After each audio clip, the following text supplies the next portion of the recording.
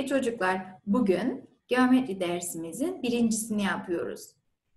Standart uzunluk ölçü birimlerini, uzunluğu tahmin edebilmeyi ve metre santimetre arasındaki ilişkiyi gelin birlikte öğrenelim. Burada bir terzimiz var.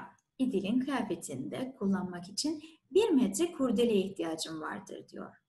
Bunu ne ile ölçebilirim diye bir soru sormuş. Peki bir metre kafanızda biraz daha iyi canlanabilmesi için şunu söyleyebilirim. Yaklaşık olarak sizin 2-3 adımınız gibi bir miktar diyebilirim. Bakın kadarlık bir uzunluğu cetvelle ölçmek mümkün mü sizce? 18 santimetrelik cetvelle pek de mümkün değil. Şerit metre ile ölçebilir miyim? Evet ölçebilirim. Kurdele ölçerken de sonuçta bunu kullanabilirim. Çünkü bunlar yaklaşık olarak 3-5 metreye kadar ölçebiliyor. Kırık metre ile yine ölçebilirim. 1 metrelik cetvel ile evet bu daha kolay bir ölçüm sağlayacaktır bize. Peki mezura ile ölçebilir miyim? Evet hatta genellikle terziler mezurayı kullanıyorlar biliyoruz ki. O yüzden burada aslında en mantıklı kurdele ölçmek için ölçü aletimiz mezura olacaktır. Standart uzunluk ölçü birimimiz metredir ve küçük m harfi ile gösteriliyor. Metreden daha küçük uzunluklar ise santimetre birimi ile ifade ediliyor. Bu da C, M, küçük C, M harfleriyle gösterilir. Evet, unutmayın 1 metre 100 santimetredir. Bunu asla unutmuyoruz. 1 metre 100 santimetredir. Bakın buradaki bir çocuk da yaklaşık olarak kollarını açtığında 1 metre gibi bir miktar oluyor. Peki kitabınızdaki sayfa 20'de cetveller ve çeşitli boyutlarda kurşun kalemler var. Bakın birinci kalemimiz cetvelde 0 ile 8'in arasına denk gelmiş. O zaman bu kalemin 8 santimetre olduğunu söyleyebiliriz. İkinci cetvelimize bakacak olursak, kalem 2 ile 7'nin arasına denk gelmiş. Buradaki aralıkları da ölçerek, sayarak bunu yapabiliriz. Ya da daha kolay 7'den 2'yi çıkararak da bu kalemimizin 5 santimetre olduğunu bulabiliriz. Evet, Şimdi bir de uzunlukları nasıl tahmin edebileceğimize bakalım. Acaba buradaki halı ve makasın uzunlukları neler olabilir? Şimdi çocuklar, öncelikle halıya bir bakalım. Halı 2 santimetre mi yoksa 2 metre mi acaba? Santimetreyi unutmayın elinizde bulunan küçük cetvellerinizde görebilirsiniz. Bakın burada cetvelimi aldım. 18 santimetreye kadar ölçebilen bir cetvel bu. 2 santimini gösterecek olursam size şurada görülüyor. Bu kadar küçük bir miktardan bahsediyor. Peki buradaki halı sizce 2 santim olabilir mi? Tabii ki hayır. O yüzden buradaki halının 2 metre olduğunu söylemek daha mantıklı. Gelelim makasımıza. Peki yine cetvelimde ben 11 santimetreyi gösterebilirim. Bakalım. Şurada 11 santimetre yaklaşık olarak şu kırmızı çizgiyle gösterdiğim yer.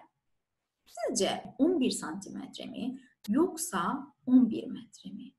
Çocuklar 11 metre yaklaşık olarak bir apartmanın boyu kadar oluyor. Üç katlı bir apartmana denk gelebilir. Yaklaşık olarak.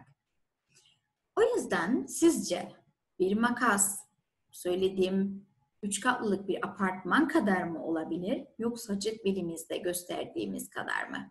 Tabii ki cetvelimizde gösterdiğimiz kadar. O yüzden burada makasımızın boyunun 11 santimetre olduğunu tahmin edebiliriz. Uzunluk ölçme birimi metredir demiştik ve M harfi ile gösterilir. 1 metrelik cetvelde 100 eşit parçadan her birine santimetre denir. Cetvelinizde bunu görebilirsiniz. Ve santimetre tekrar ediyorum. Küçük harflerle C, M harfleriyle gösterilir. Metre ve santimetre arasındaki dönüşümlere bir bakalım istiyorum. Bakın 9 metre kaç santimetredir? Ne demiştik? 1 metre.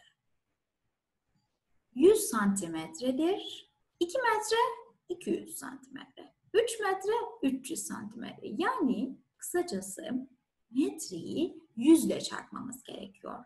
9 kere 100 900 santimetre. Tam tersi olduğu zaman 600 santimetre bu defa 100'e bölmem gerekiyor. 6 metre oluyor.